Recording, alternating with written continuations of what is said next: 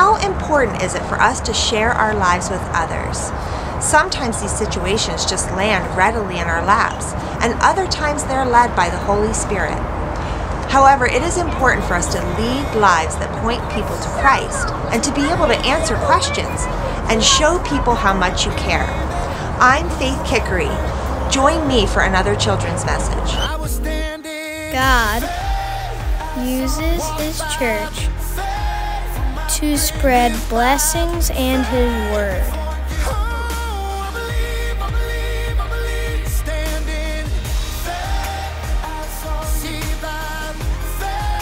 It is important to know about the Bible in order to be prepared to share it with others.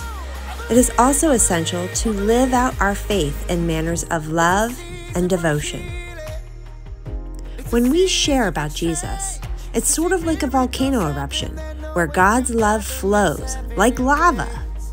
Now, an angel of the Lord said to Philip, Go south to the road, the desert road that goes down from Jerusalem to Gaza. So he started out, and on his way he met an Ethiopian, an important official in charge of all the treasury of the Kandake. This man had gone to Jerusalem to worship, and on his way home was sitting in his chariot reading the book of Isaiah the prophet. The Spirit told Philip, Go to that chariot and stay near it.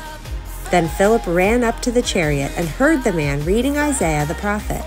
Do you understand what you are reading? Philip asked. How can I, he said, unless someone explains it to me? So he invited Philip to come up and sit with him. How can we let God's love and message pass around? Invite a friend to youth group. Sunday school. Church.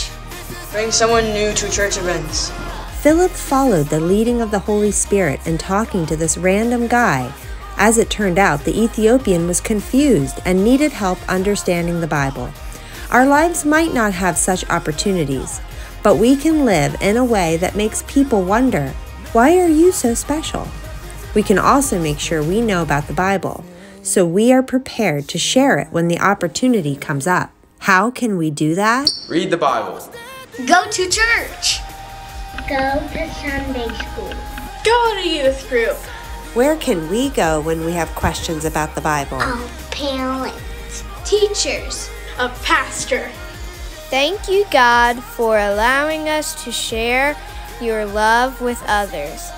I ask for wisdom in listening for your true voice and instructions. Amen.